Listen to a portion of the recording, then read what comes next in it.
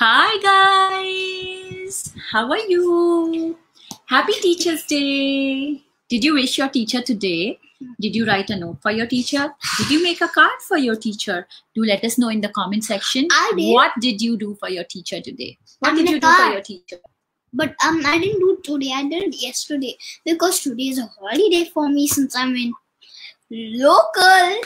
Right. So this is Arav. My name is Preeti. Welcome to our page. Today's story number 88. And we are so excited to read a special story for wait. Teacher's Day. And wait I also want to thank all my students for doing something special for me. Today I met Mishka and Samaira and they got beautiful gifts and cards for me. Thank you so much, guys. So should we go and say hello to Guru Dronacharya? We can't say hello. This like ancient Guru. We'll say namaste to Guru Dronacharya and we will meet the But greatest student that ever. happens, the magic song and the magic potion. Yeah, we forgot about the magic The song. magic cat is shaking. The magic cat is shaking. The magic cat is shaking. Shaking. Magic potion. Ah, Abracadabra. Magic cat. Give me the Give story. me- I want to see this guru in life. Yes, Arav has not heard this story about Guru Dronacharya and Eklavya. So let's go right into the story. We are going 5,000 years back. Wow. Wow. Long, long time back. 5,000 years back. Are you all ready? I'm ready. Hey, we forgot to say hello to our friends today. Okay. Hi, Nirav.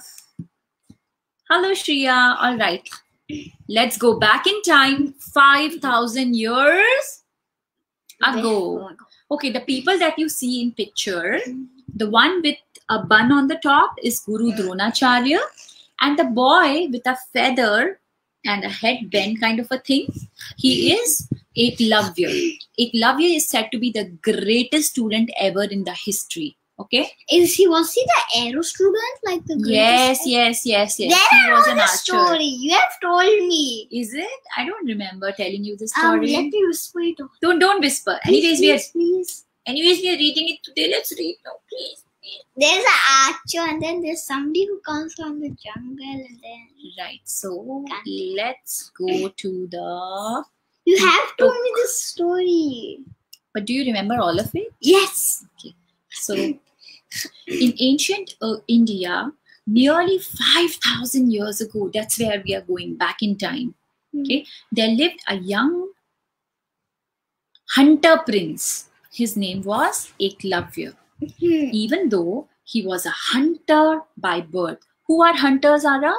Hmm, I don't know. Hunters are Ah, people Who who hunt, hunt wild animals in the jungle. Yeah, because it was very old and there was no other food to eat.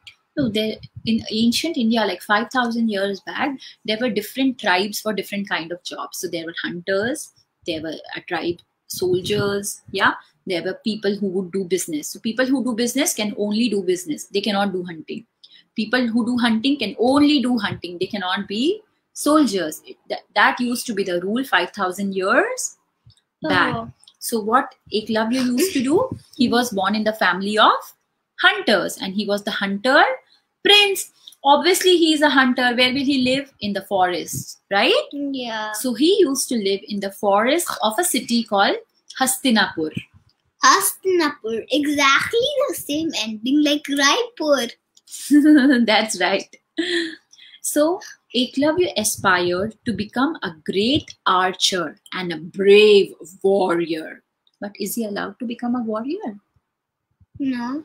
that time, you know, if you are a hunter, you were supposed to be a hunter only. But he wanted to be a great archer to shoot bow and arrow, and he also wanted to be a brave warrior. Now he expressed his desire to this to his father. Father, I want to be an archer and become a student of the great Guru Dronacharya.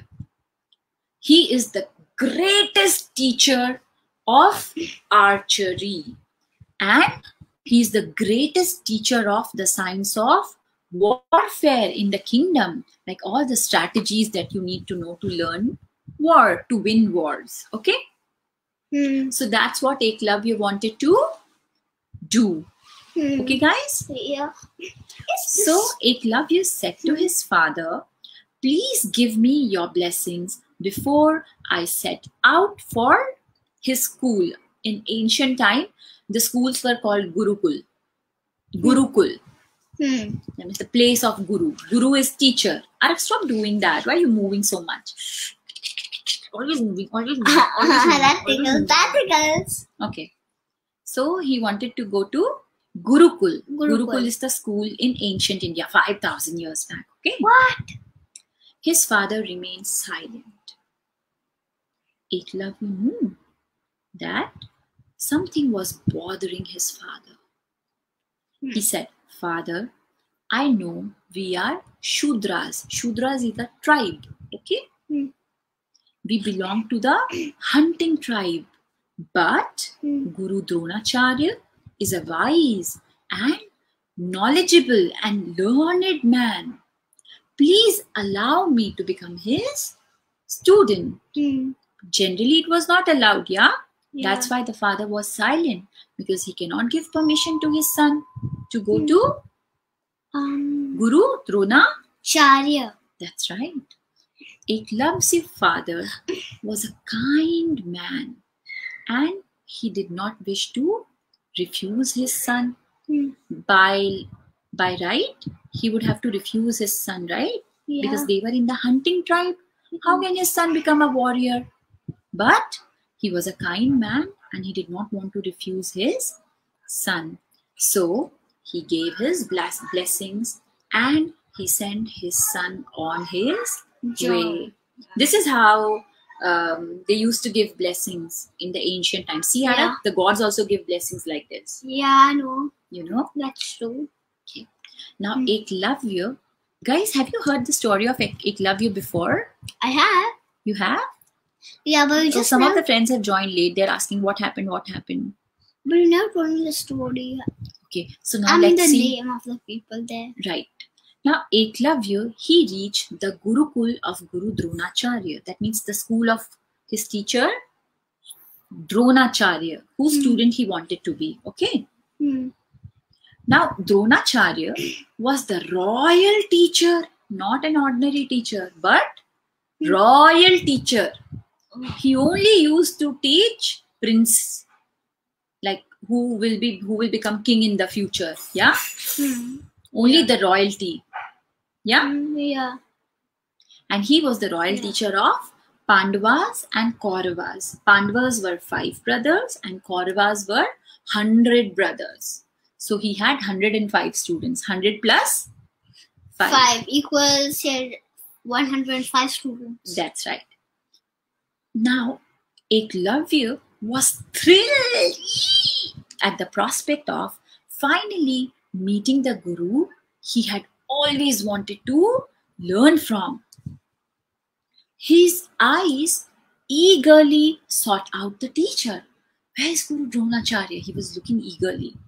He spoon spotted him. He saw him instructing a boy. And which boy? The boy he was instructing was Hmm. Arjun. Arjun. Okay. He was the best arrow He shooter. was, yeah, he was the best arrow shooter of And wait, is this a guy living in the jungle? Oh, he's a jungle guy, right? Arjun. I No, mean, Arjun I is a mean- prince. Eklavya is the jungle guy. I know, yeah. I covers a jungle. Yeah, and who was Arjun? Arjun was a prince. So Yeah. Guru Dronacharya was teaching Arjun. Hmm. Eklavya went to Guru Dronacharya. He folded his hands in greeting and he bowed down to touch the Guru's feet like this. Dronacharya was surprised to see this stranger and he asked him, Who are you, boy? Hmm. Eklavya, very polite he was. He said, Oh Guru, I am Eklavya. Ek. Eklavya, Lavya. the son of the chief of hunters Wow. in the forest of Hastinapur. Hmm. Please accept me as your humble student and teach me the art of archery and warfare. Dronacharya reflected for a minute. Reflecting means thinking. Okay. Hmm. He reflected for a minute. Hmm. and then said, Eklavya, if you are a hunter, then you are a Shudra tribe. Okay? The lowest caste in the kingdom. I am a Brahmin, the highest caste in the kingdom. All my students are Kshatriyas, the warrior caste. So I told you, Ara, the warrior caste, Kshatriya, they can only be warriors. Hmm. Brahmins, they are only teacher at that time. Hmm. They cannot do any other job. Hmm. Shudras, they were they, they had some jobs. One of the job was hunting, so they cannot become warriors. That's what Hmm. the rule was. Yeah. Okay. So Guru Dronacharya said, All my students are the warrior caste. Hmm. I cannot teach you. Now the Pandavas, the five brother, they stood watching the exchange between Guru and Eklavya. Encouraged by the Guru's words, Hmm. Arjun spoke up. He said, Guru Dronacharya is a royal teacher appointed by the king to train us, the prince of the kingdom. How dare you expect to be taught by him? Leave the Gurukul immediately, said Arjun to Eklavya. Hmm. Is it becoming confusing or do you follow? I follow. Guys, do you follow what's happening in the story? Who is Arjun? Who is Eklavya? Who's Guru Dronacharya? This is Eklavya. This is Eklavya. Okay, now comes the next part of the story. Hmm. Now, Eklavya was surprised at the harsh, harsh words of the Guru, Dronacharya, and also Arjun. What are you doing? Okay. And he was hurt. Wow. Okay, and he was feeling very sad because Arjun had insulted him. Now, he was a hunter chief's son, yet he had never insulted anyone. In the hunter tribe, he was the prince, right? Yeah. He had never insulted anyone. But he did not think of taking revenge or anything. He quietly left the Gurukul. Hmm. But he was determined to learn archery. So, you know what he did? Hmm. He went back to the forest. There, he built an idol of Guru Dronacharya. What is an idol? Hmm. A picture. Uh, not a picture, it's like a sculpture. Hmm. You know what is a sculpture? Like you made Ganesha, remember? The clay Oh, Ganesha. he made- that is a sculpture. Oh, he made a sculpture. Now yeah, it. he now made a clay sculpture of Guru Dronacharya using mud. Yeah. Hmm. and he believed that this mud Guru, this mud structure, yeah, Hmm. this was his Guru, and he will practice faithfully every day in front of his Guru. Hmm. Yeah, Yeah. because he was a great Guru, Guru Dronacharya. So he Eklavya Okay. believed if he will practice every day in, in front of this sculpture, Okay. he will master the art of archery. Wow. And so determined he was Arav. Every morning he got up early and he would pray to the Guru's idol and practice throughout the day.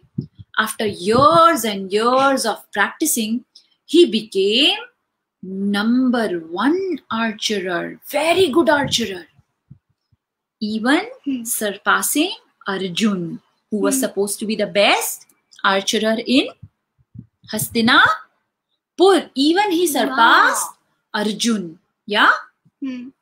he became one of the best archerer in the kingdom of Hastinapur. Now, Hmm. one day, Yeah. while practicing, a dog started barking at some distance. How does a dog bark? Now, its constant barking irritated a Eklavya. What he did, he fired seven arrows in quick succession, one after the other, one after the other, one after the other, filling the dog's mouth with the arrows without injuring it. The dog was no longer able to bark and he roamed around the forest. So, Arav, see, he shooted the dog with how many arrows? Seven. But the dog did not get injured. He Hmm. just put the arrows in the dog's mouth so that the dog will not be able to. But So skilled he was. He did not even see the dog. He only heard the dog's bark and he shot the arrow. Just imagine like that. Hmm. And the where did he shot the arrow? Exactly in the mouth of the dog. Such a great shot, isn't it? Yeah. Without even seeing, only Yeah. by hearing. Hmm. Now this dog started roaming around the forest. Hmm. Thus roaming, the dog reached the Pandavas and Guru Dronacharya. They were practicing in the forest. Hmm. Now Dronacharya was amazed to see such a great example of archery that who could have done this without even hurting the dog? Hmm. Even when you're seeing the dog, it's very difficult to put arrows like that in the dog's mouth because dog is always moving, right? Yeah. Yeah. Yeah. So Guru Dronacharya was super Amazing. amazed. He realized that only some extremely skilled archer could have done this. Now he set out to look for that archer. Who did it? Who did it? He wanted to know who is so good.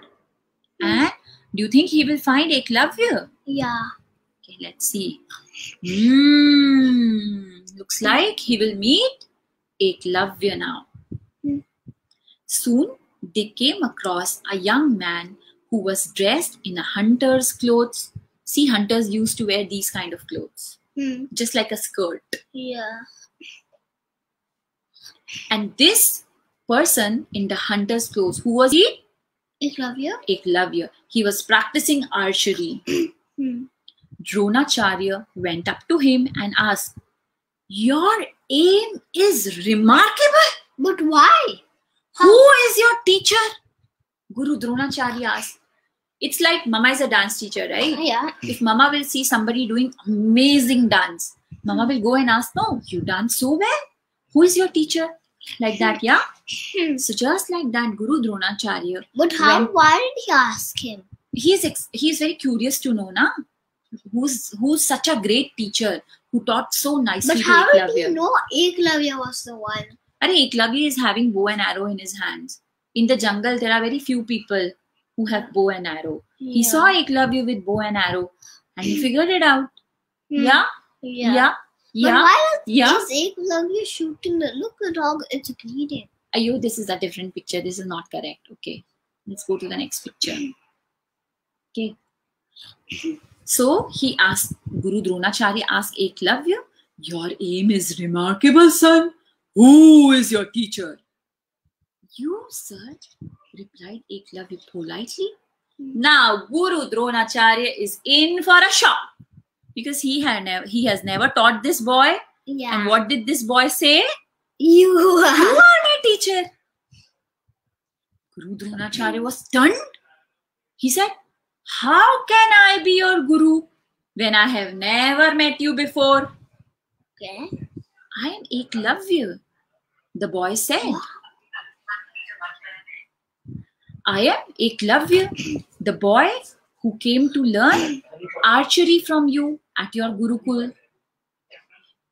After you refused to take me as your student, I came back to the forest and I made a statue of you. I prayed to the statue every day and I practiced every day in front of the statue. And with the statue's blessings, with your blessings, I was able to master the art of archery. Archery. Now, you know what? What? Guru Dronacharya was actually very proud of Eklavya, but he had given a promise to Arjun that you will be known as the best archer. Hmm. Yeah. Yeah. Now, Guru Dronacharya could see that Eklavya was a better archer than Arjun.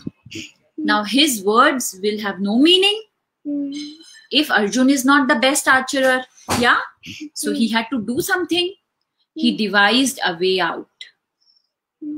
So he said to Eklavya, You know, Arav, in, in uh, ancient India, like 5,000 years back, Yeah. you never paid just the fee like money to teacher you paid guru dakshina like whatever your teacher will ask you have to do that for your teacher? Yeah teacher can ask you for anything Wow. as the fees anything yeah Yeah. so Guru Dronacharya said to Eklavya, Hmm, I see that you have learned from me. Now you will have to pay your Guru Dakshina, my gift for training you.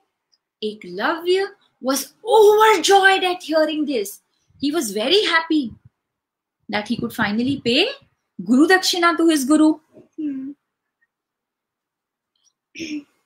And you know, when you have to pay Guru Dakshina, Arav, One. a Guru Dakshina is paid when the teacher thinks that you are a very good student and you have completed your training. So that's why Eklavya was very happy because his teacher thought that he was a good student. Hmm.